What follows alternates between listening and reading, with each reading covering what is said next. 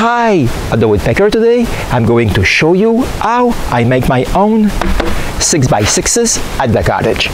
And if you stick until the end, I'm also going to show you how I made this jig. So you will be also able to make your own 6x6s.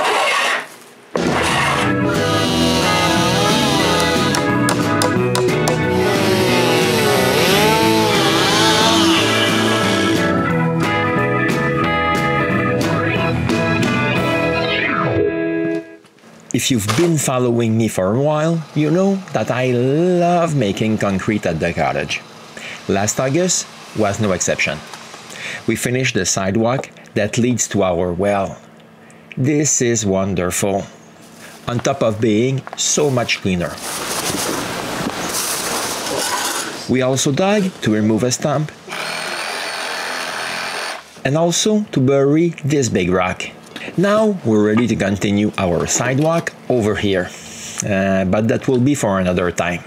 We need to spread out the fun. But we also did some work that involved cutting some trees. This made me think that I could rip some wood just like I did for our loft. But instead of just being 3 inches thick, I could make some 6x6s so all the big trees that we had to cut were transformed into 6x6s. Uh, not all of them fell where I wanted them to. But once the tree is down, making a 6x6 with it is quite easy. I just need to use a wooden guide and the jig I made over 20 years ago. When the first cut is done, I turn the log, nail the guide to it, and make another cut.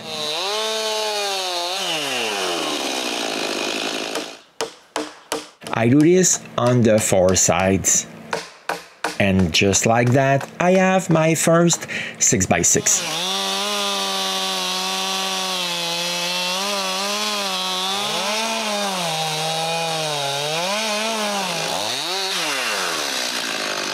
But we cut even more trees that I want to transform into construction lumber. So when it's on the ground, I can screw my jig to the chainsaw blade and cut another 6x6.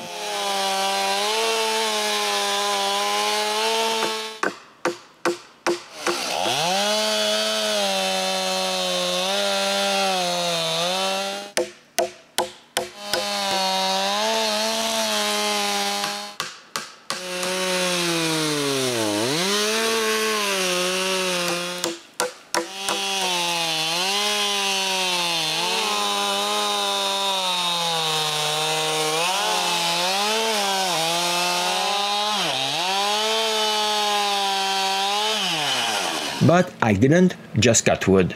I took one hour to go fishing and cut a pike. As usual, I release it. Maybe I'll be able to catch it again someday. But I still have more trees to cut.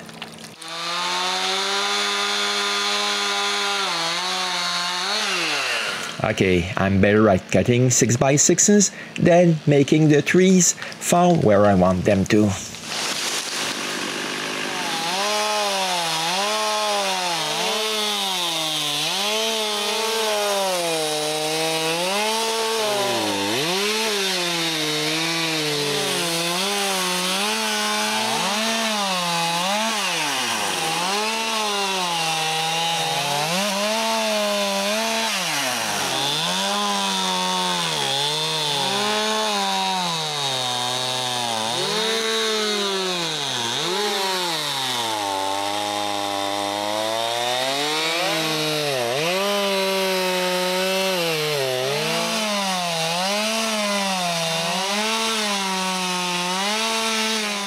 I also had the chance to get my hand on nice birch logs.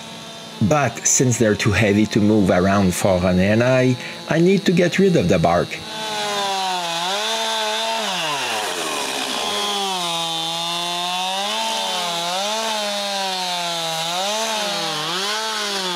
Okay, even though they are now square, mm, they still weigh a lot. But since I can bring them home right now, I cover them with some sheets of metal roofing. We also cover the 6x6s I made. And as promised, I'm going to talk about my jig. As a matter of fact, it's quite simple. A guide and something to swivel the chainsaw. I had this piece bent at a metal shop, so a 2x4 can slide inside, just like that.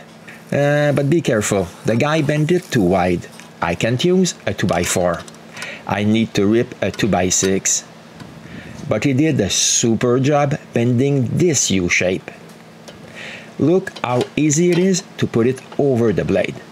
Then I just have to screw it in place.